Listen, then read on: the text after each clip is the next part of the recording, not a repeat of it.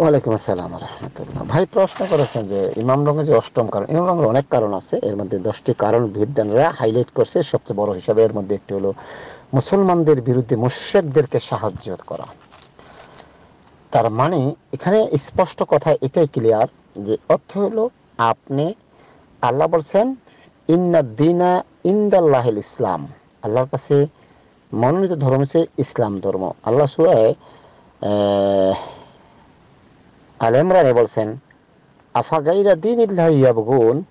ওয়ালাহু আসলাম মান ফিস সামাওয়াতি ওয়াল আরদি কারহা ওয়া তোমরা কি আল্লাহ আল্লাহ ছাড়া, আল্লাহর যে জীবন ব্যবস্থা আছে, আল্লাহর দেওয়া জীবন ব্যবস্থা ছাড়া অন্য ধর্ম তালাশ করছে? তার যতই তালাশ করো, যতই করো, তবে ইচ্ছাই হোক, অনিচ্ছাই হোক, তোমার আল্লাহর আদেশের কাছে তোমরা মাথা ফাটতে বাধ্য।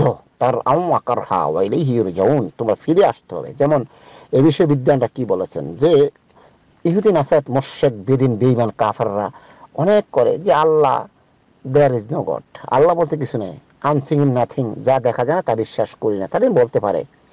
আল্লাহ নাই বলে যে যা দেখা যায় তা বলে। কিন্তু যখনই দেখেন, যখনই এত শক্তি খাটায়, এত শক্তি খাটায়, শক্তি কি? ডান হাত দিয়ে আল্লাহ রসুল ডান হাত দিয়ে খাও তারা বলে ডান হাত বাম সবে বাম হাত দিয়ে খায়।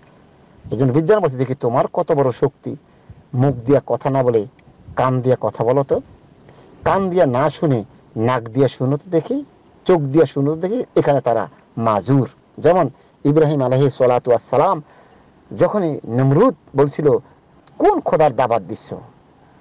কে আবার মৃত্যু আমি তো বড় খোদা, আমি তো জীবিতকে মৃত্যু করি, মৃত্যুকে চিন্তা করি। ইব্রাহিম আলাহ নমরুদ দা তোর এত বড় পাওয়ার আচ্ছা তুই এত বড় পাওয়ার তুই পারস তো কর। আজকে আল্লাহ পাক সূর্য পূর্ব দিকে উদয় উদয় করেছে। তুই যে পশ্চিম দিকে উদয় কর, তখন সে মাজুর হয়ে গেছে, তখন সে ব্যাকল হয়ে গেছে। কারণ সে বলছে, আমি মানুষকে জিন্দা করে, মৃত্যু করি। দুইজন লোক আছে, একজনকে মারে গেছে একজনের সাইডে যে দেখ আমি করছি। তখন ইব্রাহিম আল্লাহ তোমার এত বড় পাওয়ার তুমি একটা কাজ করো। একটা কাজ করো দেখি, আল্লাহ আজকে পূর্ব দিকে সূর্য উদয় করছে। তুমি কালকে পশ্চিম দিকে উদয় করো, তখন আর তারা পারে না। তারা অনেক করা ইচ্ছাই হোক, অনেক মানতে বাধ্য। আজকে দেখা গেছে মানুষ আজকে আমরা না উজুবিল্লাহমে পাশ্চাত্যের সভ্যতার গোলামি করতে গিয়ে আমরা অনেকেই বলে ফেলি, কিসের মুসলমান? মুসলমান আছে, একটা হিন্দু, একটা বুদ্ধ, একটা খ্রিস্টান ভালো কাজ করছে এটা মুসলমান সে বলে না উজুবিল্লাহমিন জালে কোনো বলে বলে এরপর একটা মুসলমান হিন্দু, যদি কোনো কারণে ঝগড়া হয়, কিন্তু দেখা গেছে আমরা মুসলমানের বিরুদ্ধে বেদিন কাফেরদেরকে সহযোগিতা করে মুসলমানকে মারার জন্য পায়তারা করি। এটা কিন্তু ইমানের একটা মানে ইমান বিধ্বংসী একটা কারণ। কেন?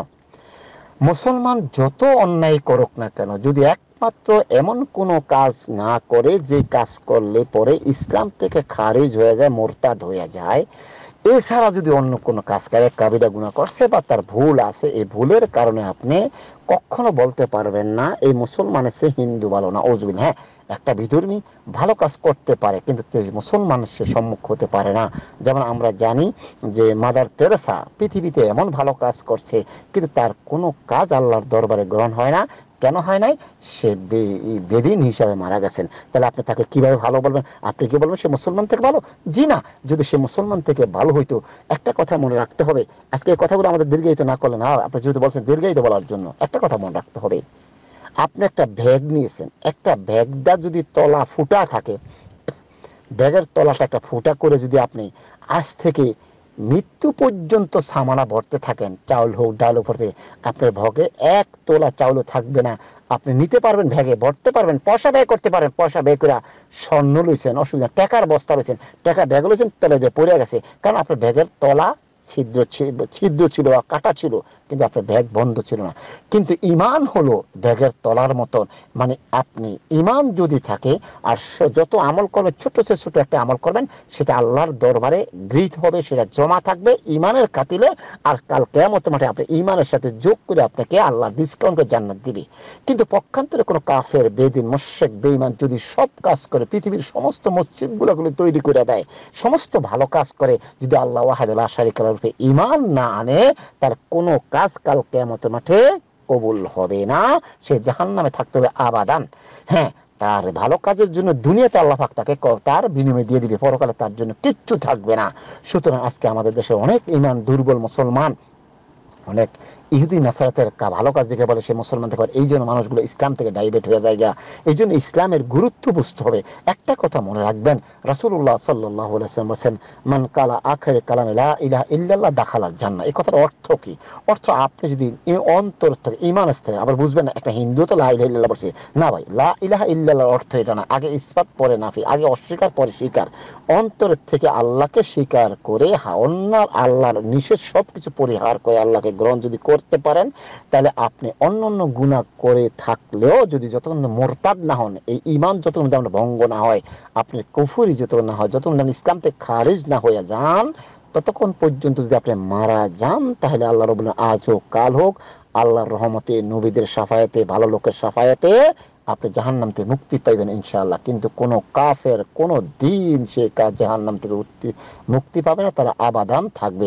সুতরাং এই জন্য কোনো মানুষ কোনো অবস্থাতে বলতে পারে না যে মুসলমান সে কাফের ভালো এবং মুসলমানের কোনো বিপদে পড়লে কাফেরকে সহজে মুসলমানকে মারতেছে। আজকে পৃথিবীতে অনেক জায়গায় দেখা গেছে প্রত্যক্ষ পরোক্ষভাবে এক মুসলমানকে মারার জন্য আরেক কাফের মুশ্রিকের সাহায্য নিয়ে মুসলমানকে মারে। এটা অবশ্যই ইমান বিধ্বংসী কাজ।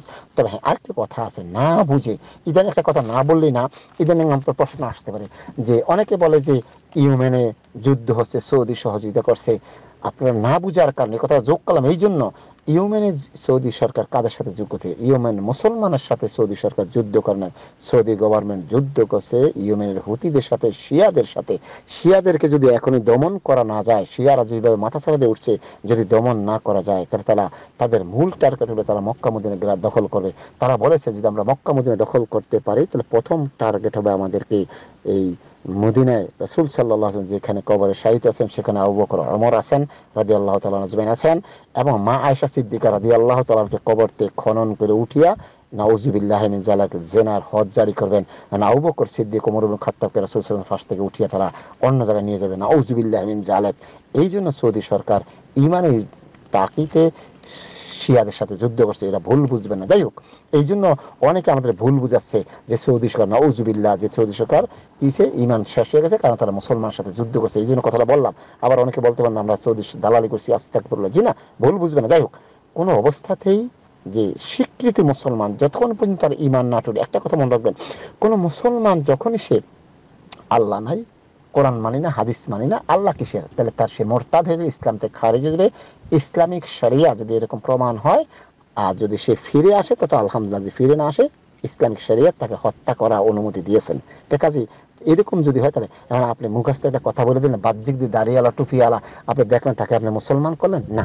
আসলে দেখতে তার ইমান আছে কিনা, সে ইমানের মধ্যে আছে কিনা, সে ইমান টুইটে গেছে কিনা, সে মোরতাদ হয়ে গেছে কিনা সেটি বুঝতে হবে, না বুঝেই আপনার আমি কখনো ফটো দেওয়া উচিত হবে না। আল্লাহ পাক আমাদেরকে হেফাজত করুক, আমিন। আসসালামু আলাইকুম রহমতুল্লাহ।